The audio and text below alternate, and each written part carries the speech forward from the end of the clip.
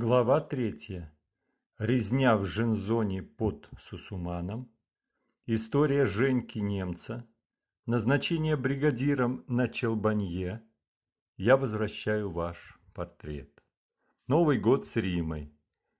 Контрадья и освобождение. Крепкий орешек, танкелях. С рыболовным траулером на Сахалин. Свадьба и после. Первая старательская артель. Знакомству с Женькой немцем предшествовали события, едва не стоившие мне жизни.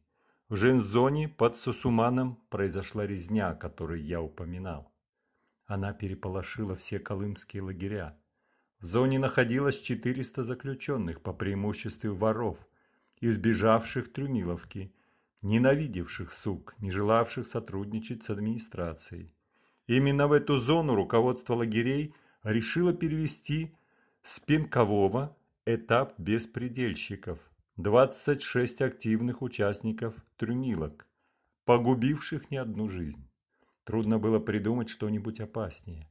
Как потом выяснилось, сусуманский прокурор Федоренин был уверен, что теперь, когда вышел указ о применении смертной казни, воры не станут устраивать резню. Между тем слухи будоражили зону. Атмосфера сгущалась. Тот вечер мы с Борей Барабановым заглянули в портняжную к старику Портному, давнему знакомому, сидевшему по 58-й статье. Он шил шинель для старшего надзирателя. Когда-то известный львовский закройщик. Все, за что он брался, делал очень тщательно. Боря стал его стыдить. Ну чего ты стараешься ради этой гадости? Подниму ему хлястик, да лопаток. А почему бы и нет? Вздохнул портной и принялся отпарывать хлястик. В веселом расположении духа мы возвращаемся к бараку и чувствуем, что-то произошло. Оказывается, этап беспредельщиков уже брошен в зону. За порогом страшная картина. На нарах и между ними в лужах крови лежат их тела. Девять беспредельщиков зарезаны, остальные корчатся с переломанными руками и ногами. Барак не успокаивается, пока изувеченных, но оставшихся в живых не делает калеками. Крики, стоны, хриплые проклятия несутся по бараку и вырываются наружу. Утром 14 мая 1954 года зону окружают человек 200 солдат с автоматами. Охранники выгоняют всех из бараков и выводят за ворота. Приказывают сесть на землю. Покалеченные указывают на тех, кто убивал. Командир дивизиона капитан Финчук ставит уличенных отдельно. И хотя мы с Борькой ни с какой стороны к событиям не причастны, капитан вдруг обращает внимание на нас и жестом показывает перейти в отобранную им группу. Меня это взбесило. Что ему надо? Нервы без того напряжены. Поднявшись, спрашиваю капитана. «Меня за что?» И по его словам, я сказал, проходите туда. Понял, что меня он тоже причисляет к тем, кто участвовал в резне, и последствия для меня будут страшные. Я не задумываясь, бью капитана.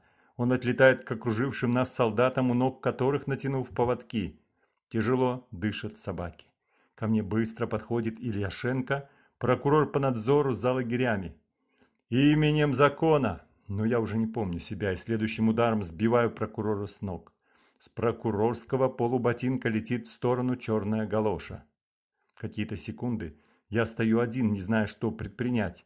Ненависть ко всему на свете переполняет меня, я уже не в силах совладать с собой. Нет, я не был в беспамятстве. Голова нормально работала, даже успел представить, что за этим последует. В какие-то мгновения делалось страшно, но остановиться не мог. В этот раз мне просто хотелось, чтобы меня убили. Ничего не вижу перед собой. Поворачиваюсь на голос старшины. «Разрешите, я его возьму». Меня передергивает. Здоровый старшина направляется ко мне.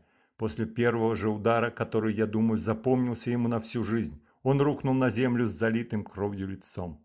Поворачиваюсь к солдатам с автоматами.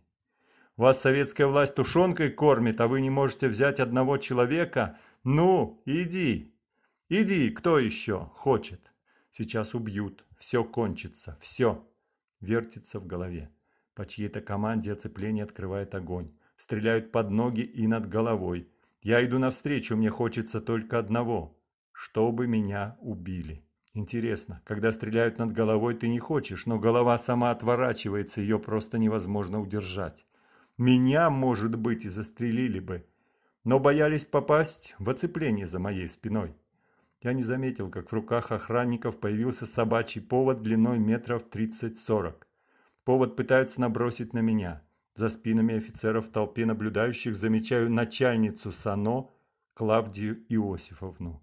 Лицо невозмутимо, глаза широко открыты, губы сжаты. Вот тебе и Эльза Кох. Но тут я путаюсь на брошенном на меня поводе.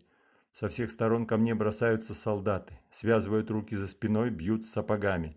Падаю лицом в перегоревший шлак, когда-то насыпанный перед вахтой, чтобы не было грязи. Часть ударов приходится на голову. Запомнился один сапог широким рантом, скорее всего офицерский. Он почему-то все время бьет меня по голове.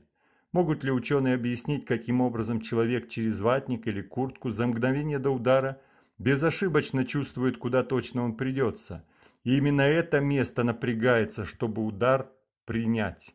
Меня перекидывают в машину. Я сумел развязаться и, оказавшимся в руках концом шнура, успел ударить майора Крестьянова. Меня сбрасывают с машины и снова бьют. Я весь в крови. Снова забрасывают в машину. В кузове человек шесть избитых, уже не двигающихся. Там же четыре автоматчика, отгороженные щитом из досок. Я поднимаюсь. Мне навсегда запомнится, как молодой сержант с карими глазами – Держа на готове автомат, пристально и тревожно смотрит на меня. Слышу его голос. «Успокойся, Туманов, ну, успокойся. Вот я сейчас нажму крючок, и тебя нет. Понимаешь? Успокойся. Чуть нажму пальцем, и все, тебя нет. Нет, и больше никогда не будет.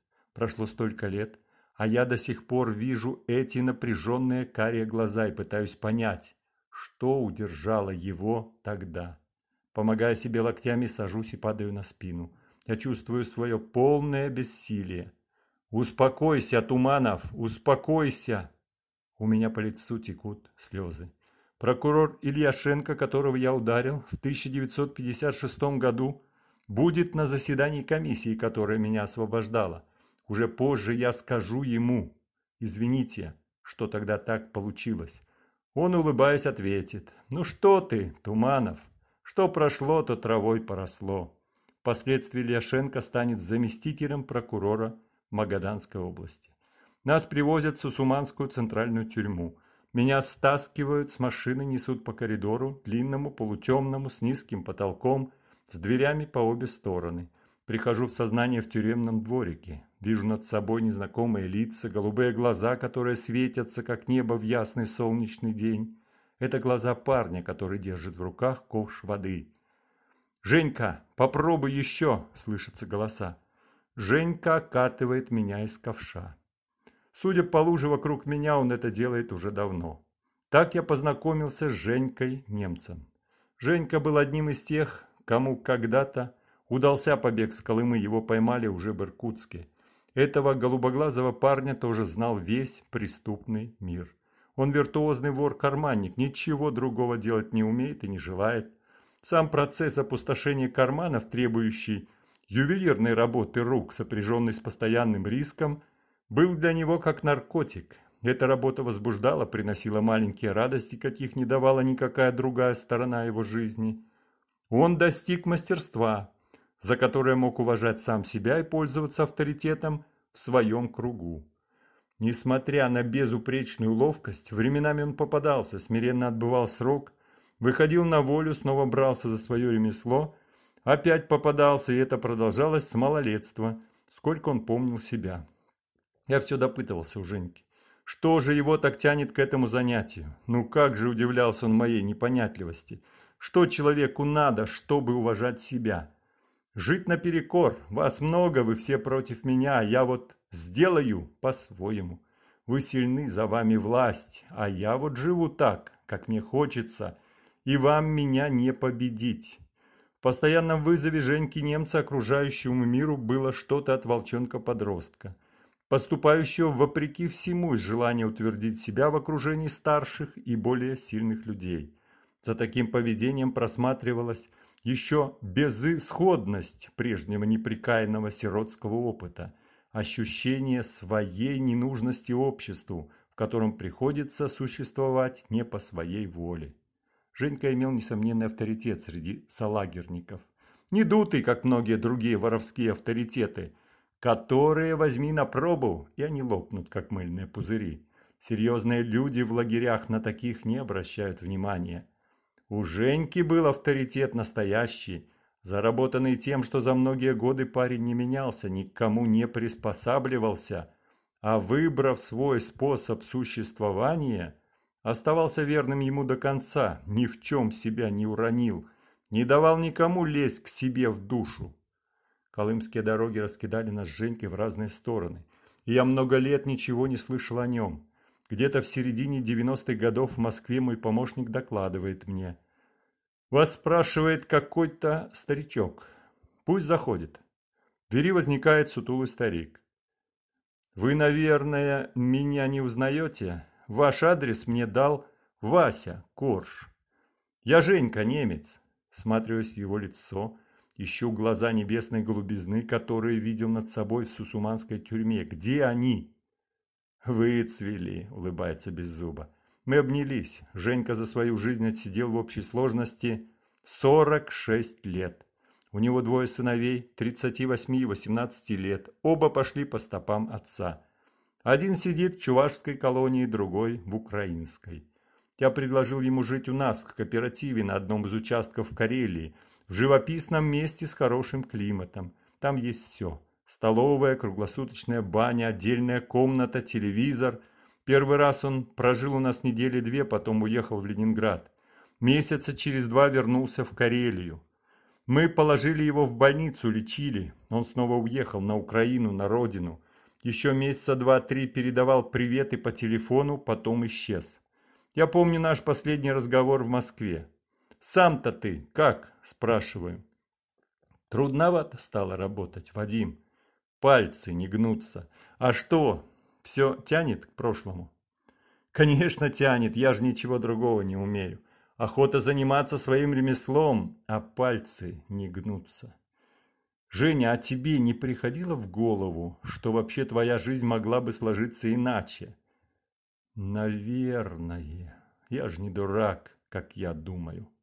Вошедший во время разговора Марк Шейдер-Лысенков принимает гостя за провинциального музыканта и сочувствует проблеме с пальцами.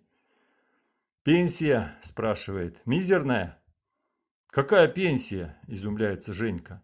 «Что пальцами заработаю, на то и живу». «И давно играете?» – любопытствует Лысенков. Он уверен, что перед ним музыкант, у которого такая беда. Пальцы не гнутся. Женьке без разницы, как обозначают его ремесло. И на вопрос, давно ли играет, отвечает с достоинством. Профессионально, лет шестьдесят. Да, восхищенно смотрит на Женьку Лосенков. Одержимый вы народ, музыканты. Мы с Женькой не могли удержаться от смеха. Захохотал и Марк Шейдер, узнав, с кем он говорил на самом деле. А я снова вспоминаю. 1954 год, осень. Меня вызывают на заседание суда по делу о резне в Жензоне. Процесс проходил в Сусуманском центральном клубе. Среди подсудимых на возвышении сцены все, кого посчитали причастными. Не было только Мелика Копова по кличке Турок, умершего в изоляторе на прииске большевик. Колька Турок был интереснейшим человеком, начитанным, грамотным, читал наизусть Шекспира. Несмотря на то, что процесс был закрытым, зал переполнен, публика в большинстве офицеры. Обвинение представлял прокурор Федоренин, один из тех, кто многим запомнился как мерзавец по работе в Тенькинском районе. Особенно на штрафнике прожарка. Я прохожу.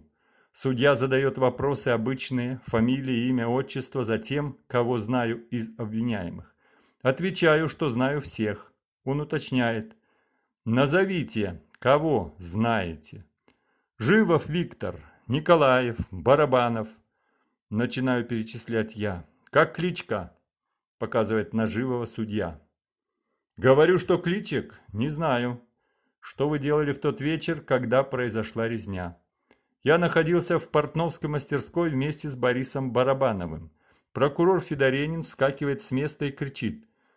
«Вы же видите, что он его выгораживает? И кого вы спрашиваете? Он сам звезда лагерей». Отметив про себя такое дурацкое выражение, я обращаюсь к судье. «Гражданин судья, видимо, прокурор путает. И я думаю, вам видно из документов, за что я впервые сел». Здесь судья перебивает меня. «Это-то я вижу, но что вы нахватали уже черти что, столько статей, мне тоже видно. Продолжайте. Я повторил, как все было в действительности. Следующим после меня давал показания старший надзиратель, которому шили шинель.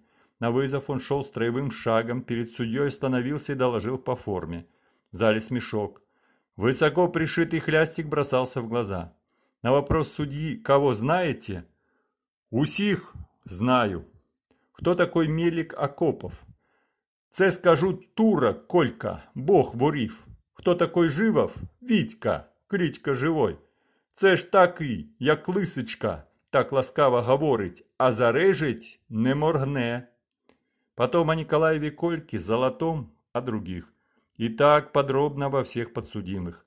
суд меня больше не вызывали, но мои показания, уверен, повлияли на приговор.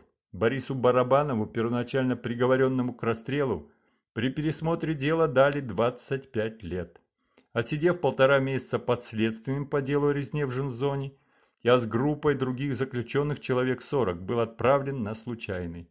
С этим штрафным лагерем, в котором я не раз бывал, связано много всяких историй, в том числе веселых. Одну из бригад послали рыть ямы и ставить столбы электропередачи. Вечером воры набросились на землекопов, в числе которых тоже были воры.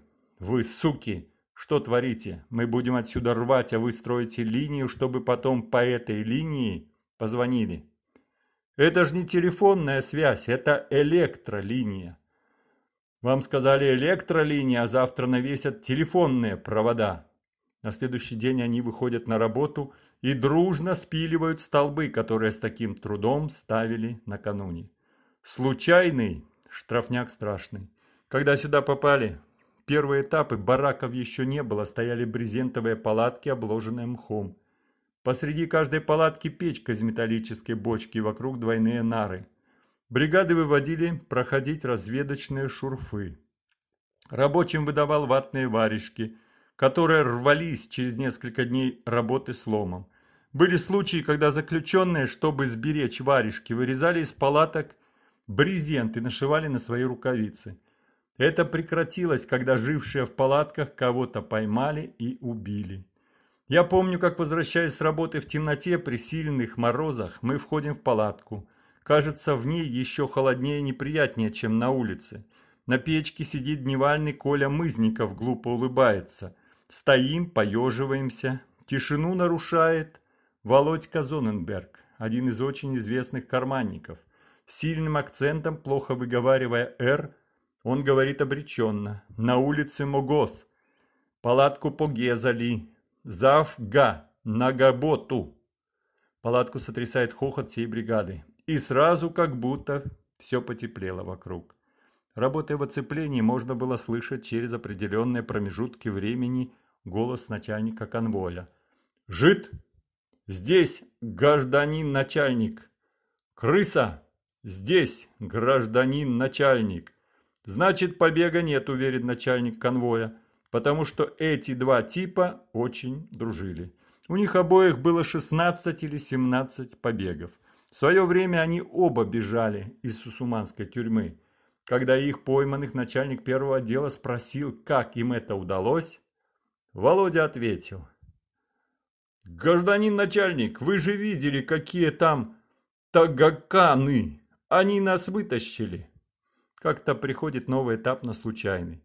Опять увидев среди вновь прибывших Зоненберга, Симонов восклицает «Ой, жид, как ты живой остался!»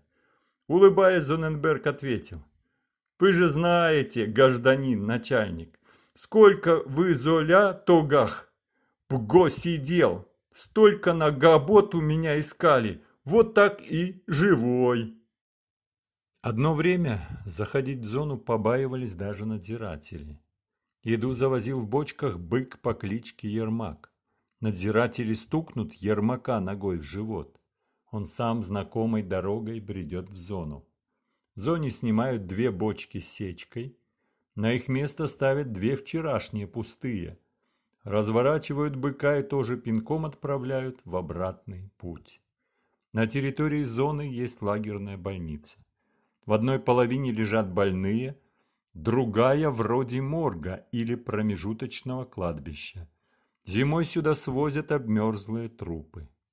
Меня потрясла увиденная там однажды картина. Помещение было битком набито трупами, как на собрании. Многие трупы стояли вверх ногами. Большинство из нас бывало на случайном не раз, и никто не желает туда возвращаться. Мы ни в чем не виноваты, считаем наказание незаслуженным. По пути договариваемся. В зону ни при каких обстоятельствах не входить. Сопротивляться и упираться до последнего. Пусть везут куда угодно. Машина останавливается у ворот лагеря. Мы спрыгиваем. Охрана не успевает сообразить, что происходит, а мы уже колючей проволокой связываем деревянные борта.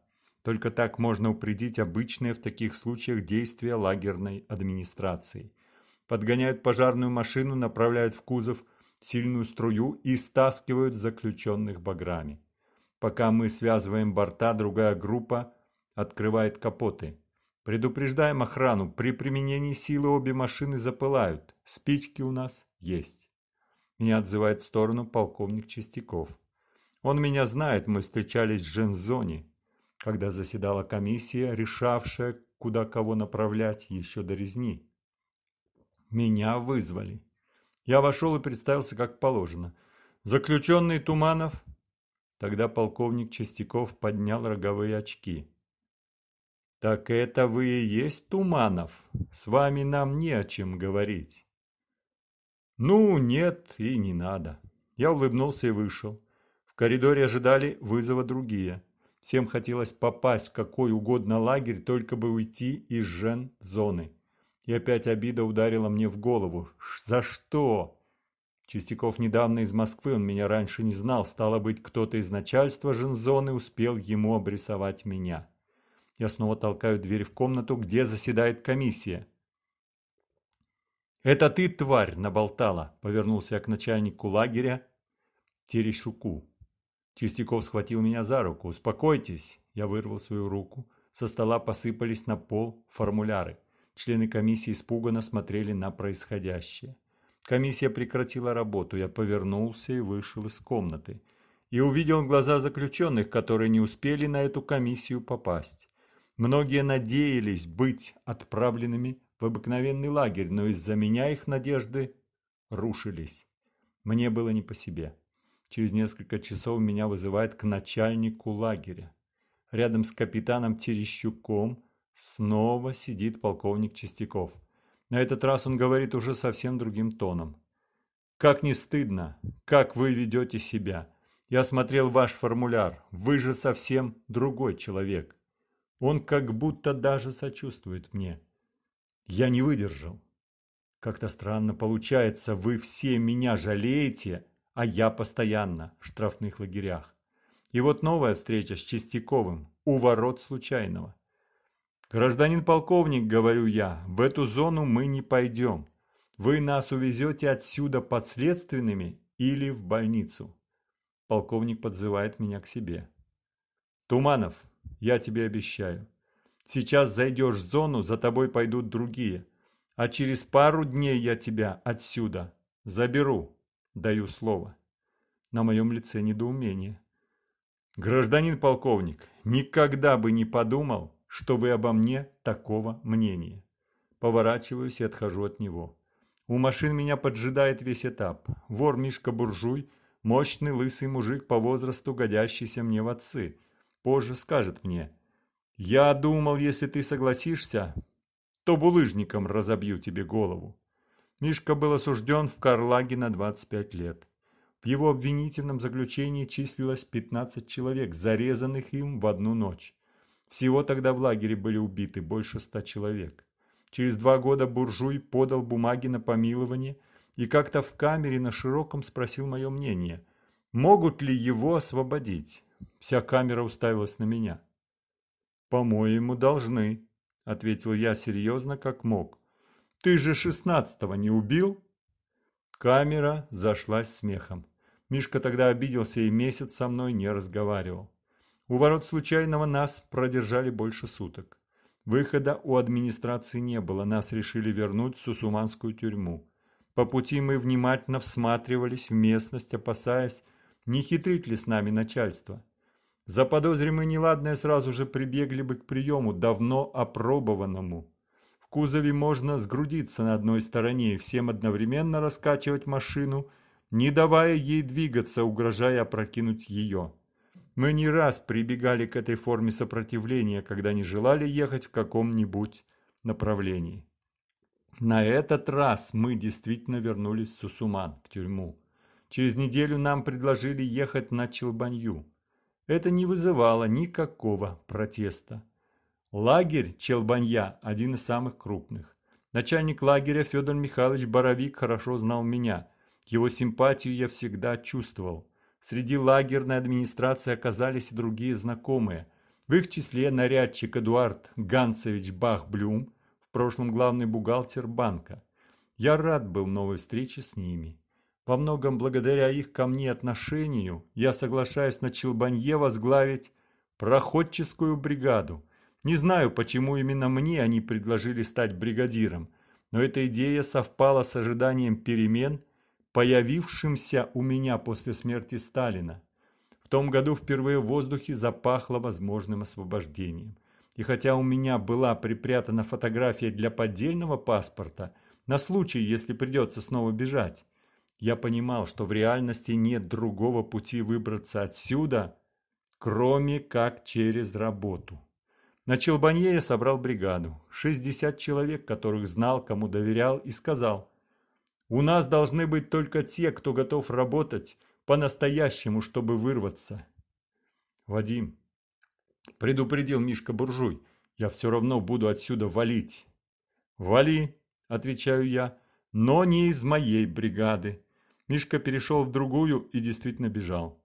Был уже 55-й год. Чувствовалось послабление, к заключенным относились по-другому.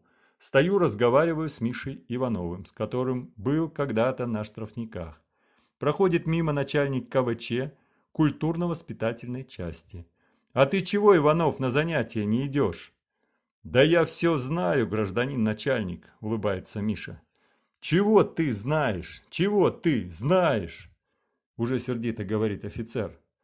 Ну, живем мы лучше всех. Хрущев у нас самый умный. Верно, гражданин начальник? Тот, не отвечая, уходит. Это было время, когда заключенные стали отращивать бороды, усы, с чем лагерное начальство все-таки боролось. Проводя очередную беседу с заключенными, этот же начальник призывал не отпускать усы и бороды. Поднялся Иванов. Гражданин начальник, я целиком с вами согласен. Я всегда думал, зачем люди отращивают громадные усы. Всегда считал их ненормальными. И вы такого же мнения? Значит, я правильно думал об уденном. Общий смех. Что ты болтаешь, Иванов? Рассердился начальник КВЧ. Иногда Миша мог прицепиться с вопросом.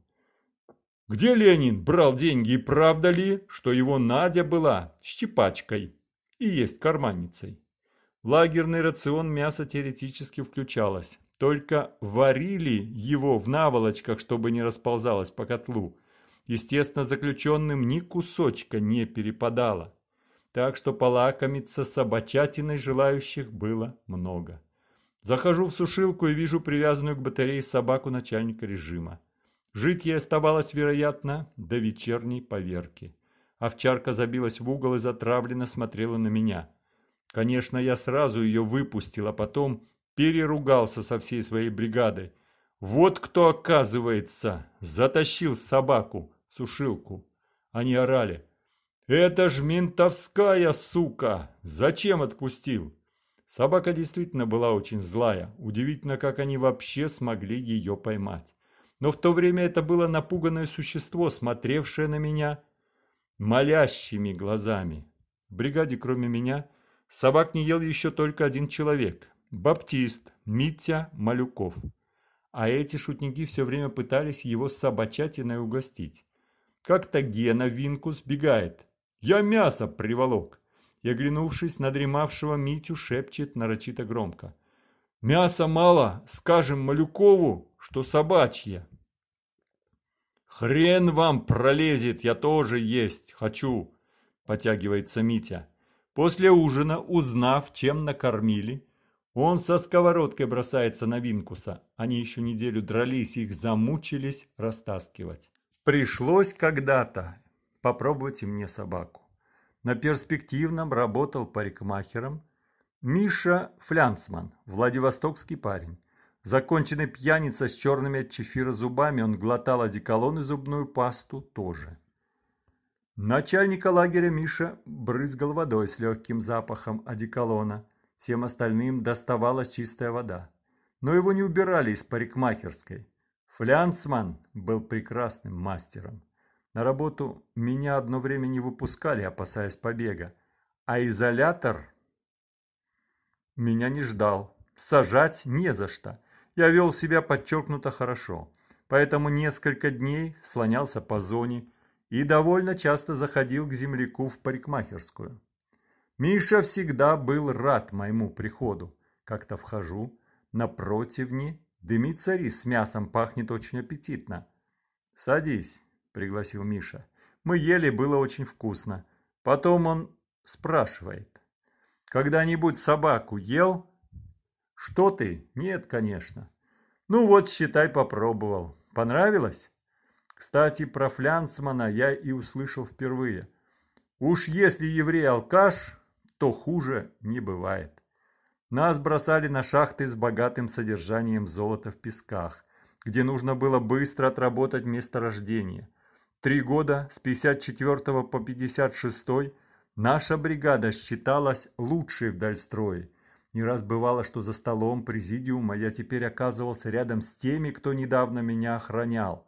Многие из них при встрече со мной отводили глаза. Однажды на шахте номер 214, когда она садилась, мы с бригадой вытаскивали бурильные молотки, лебедки, ковши, Заколом зацепила меня за капюшон так сильно, что чуть не сломала мне позвоночник. Рядом со мной был Лева, Баженов, которого тоже чуть не задавило. Мы выскочили к стволу шахты. Там на меня и на Леву хлынула жидкая холодная грязь. Окатила с ног до головы, проникла за шиворот, растеклась по спине. Мы еле выбрались. На поверхности июльская жара, яркое солнце. Мы присели на отвал. Горячее солнце отогрело нам спины. Лева сидит рядом, смотрит на меня непонимающими глазами. «За что?» – спрашивает. «Нас сейчас чуть не задавило». Мы сидим около ствола шахты. Из подземелья тянет сыростью и аммонитом. И так одиноко, обидно, тоскливо вдруг стало. Что делать? У меня сроку 25 лет. Наверное, хуже положения не придумаешь, мелькнуло в голове. Не успел я подумать об этом, как поблизости возникло грустное зрелище. Измученный мокрый конь с трудом тащил двуколку, а на ней электромотор и стальной ковш. Недавно прошел дождь, он почти по брюхо в грязи, оводы его кусают, а возчик, тварь, еще и кнутом бьет. Смотрю и думаю, все-таки хорошо, что не конем родился. Через много лет один мой приятель задаст убийственный вопрос – и я не сразу соберусь с мыслями, что ему ответить. «Вадим», — скажет он, — «а тебя не мучит совесть, что на золото, которое ты добываешь, построена Лубянка?» В ту пору мы не были такими умными, как этот мой приятель сорок лет спустя. Мы работали ради единственной цели – быстрейшего освобождения. Но даже теперь, перебирая в памяти лагерное прошлое, Нашу работу на колымских шахтах я не испытываю, во всяком случае, за это угрызений совести. За многое другое не стану спорить, но за золото... Ненавистное мне, как и моему приятелю, тоталитарное государство на это же золото восстанавливала разрушенную войной экономику, отстраивала города, сооружала электростанции, заводы, железные дороги, покупала для народа хлеб, давала ученым лаборатории, запускала космические корабли. В конце концов, на это же золото государство учило моего приятеля, задавшего вопрос. Он стал одним из самых образованных людей, чьими статьями и книгами зачитывалось наше поколение. Чего же мне стыдиться? За год нашей работы многие члены бригады стали бесконвойными, им разрешили свободно выходить из зоны. Впоследствии они вышли на поселение. Могли ездить в райцентр, ходить в кино и на танцы, знакомиться с девушками. Это было предвестием новой жизни. Я радовался, когда для кого-то из бригады этого удавалось добиться, но на душе было горько. Мне самому никто такого не предлагал. Никому в голову не приходило, что я тоже хотел бы стать бесконвойным. Когда обид накопилось по горло, я пришел к начальнику лагеря Боровику. «Федор Михайлович, я вам обещал, что буду нормально вести себя, и, кажется, ко мне нет претензий. Но работать бригадиром не хочу». Узнав о моем решении, вся бригада отказывается выходить на работу. Полная остановка проходки на шахте. Чрезвычайное происшествие. Тем более, что на протяжении долгого времени наша бригада считается лучшей на Колыме. Из Сусумана на Челбанью срочно приезжает Петеримов, заместитель начальника политуправления Заплага. Фронтовик, потерял на войне кисть руки, теперь у него протез в черной кожаной перчатке. Он вызывает бригаду.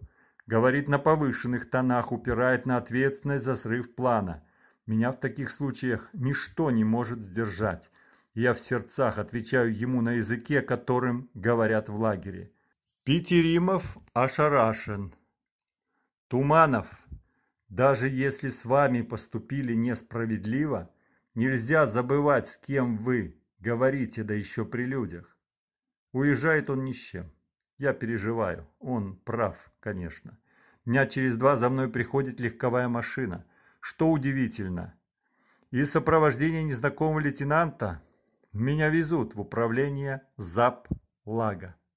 Лейтенант вводит меня в кабинет начальника управления полковника Племянникова. Полковник сидит в торце длинного стола. За столом начальники режимной части, спецчасти, другие офицеры. Человек 15. «Такое дело, Туманов», — говорит Племянников.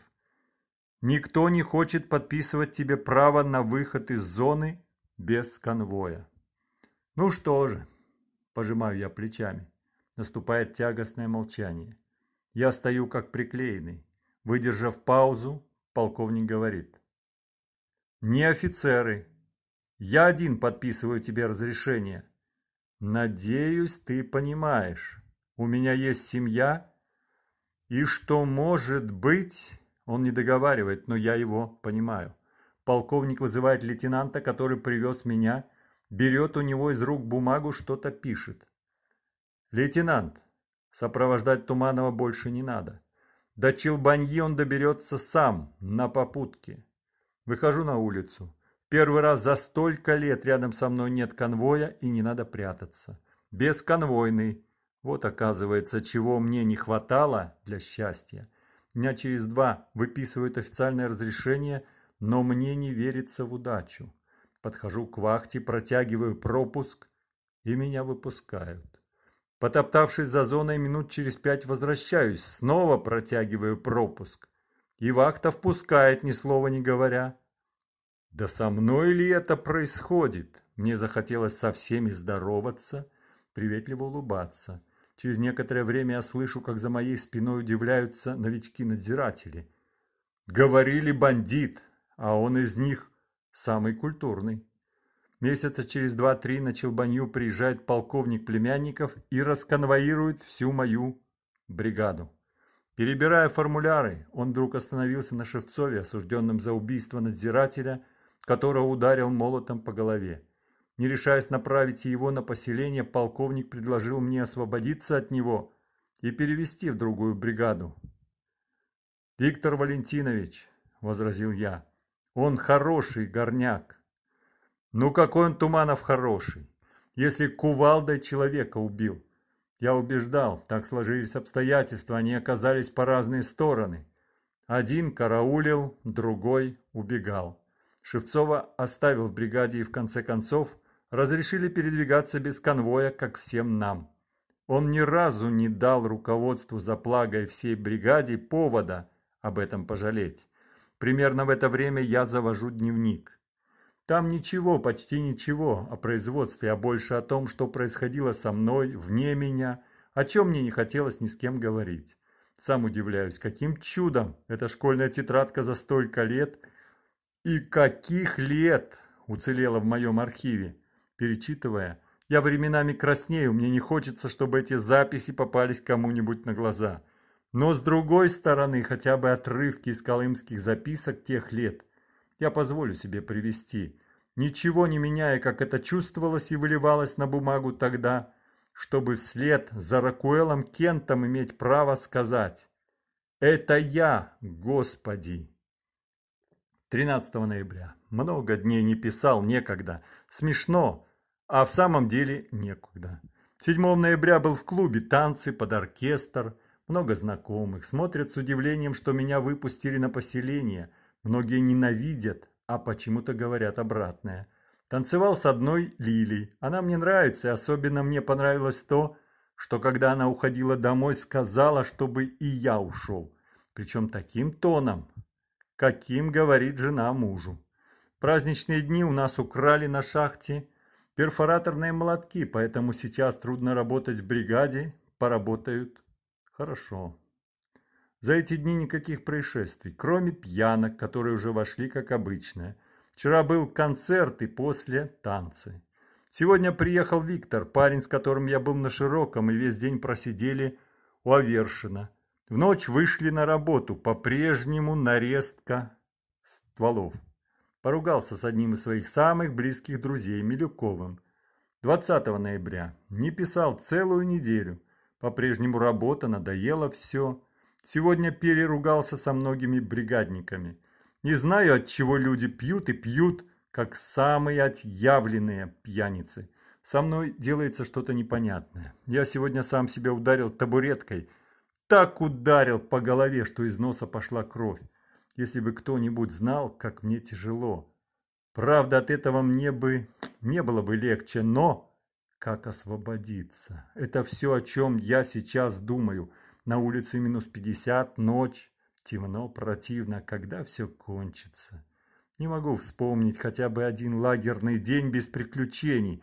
Здесь постоянно что-то происходит. И если даже не случилось внешнего события, внутри тебя что-то бурлит. Выходит из берегов, требует немедленного действия. Странно устроен человек.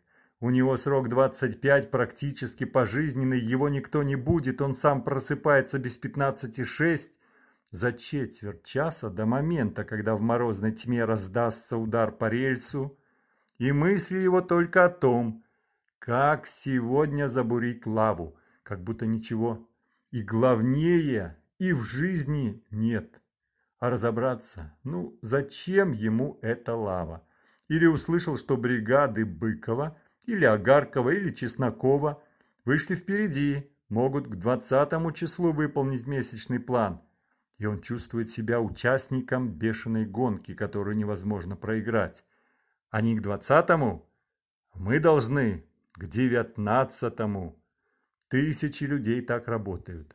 Господи, думал я по ночам, кто меня не волит за кем-то гнаться, опережать, приходить к финишу первым, загодя зная, что ни сейчас, ни ближайшая четверть века за это никто слова теплого не скажет. Но ты сам бежишь и бежишь по кругу, как взмыленная лошадь, не способная остановиться. Ты живешь напряженно, в круговороте дня, с предчувствием, что в любой момент с тобой может что-то случиться. Чаще всего события приходят, когда их меньше всего ждешь. Захожу к ребятам своей бригады.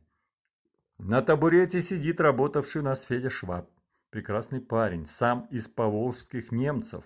Лицо поцарапано, Голова в крови. Что случилось?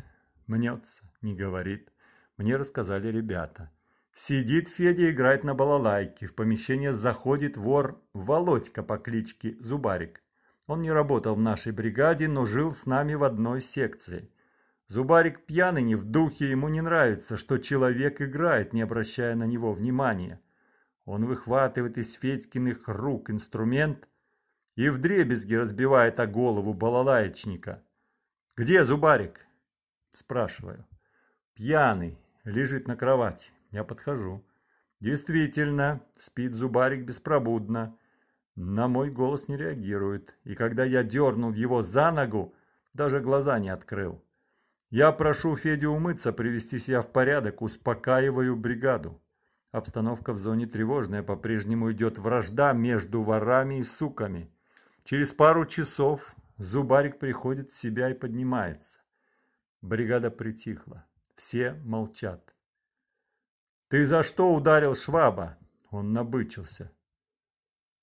«Ты обнаглел, Туманов, и твоя бригада обнаглевшая. Ну как тут сдержать себя?» «Ты что, мразь, не узнал меня?» И бью Зубарика в челюсть. Не знаю, что было с его челюстью, но от удара у него почему-то вывернулась нога, и он потом полтора месяца лежал в больнице. Развитие событий было предсказуемо. Нападение на своего вор не вправе оставить без последствий. Мне это очень хорошо известно. Но управлять собою в таких случаях редко удается. Утром я выхожу со своей бригадой к вахте. В стороне вижу группу воров и слышу, как один из них, то ли не видя меня, то ли напротив умышленно, чтобы меня завести, говорит так, чтобы всем было слышно. Что-то Туманов совсем развязался. Я с трудом держу себя в руках, подхожу к ним и говорю Мишке Власову по кличке Слепой, одному из влиятельных в этом мире людей, с которым знаком еще по-широкому. «Миша, посоветуй им, чтобы вели себя поумнее». «Да ты успокойся, Вадим, с Мишей у меня были дружеские отношения. Он один из самых близких друзей Ивана Львова, Васи Коржа, Петра Дьяка – Саши Мордвина, с которыми я полтора года просидел на широком. Я не случайно перечислил вновь имена этих людей, входивших тогда как бы в Центральный комитет уголовного мира. Их знали во всех лагерях Союза. Не знаю, как поговорил слепой с ворами, но шума по этому случаю не было. Сколько же страшных минут я пережил за восемь лагерных лет, когда вечером входил в барак и думал – а может, утром я не проснусь? Ведь каждую ночь кого-то калечили, вешали, убивали. Думаю, что такие мысли были знакомы большинству заключенных, тем более людям, имевшим большие сроки. Несколько раз по 25 лет.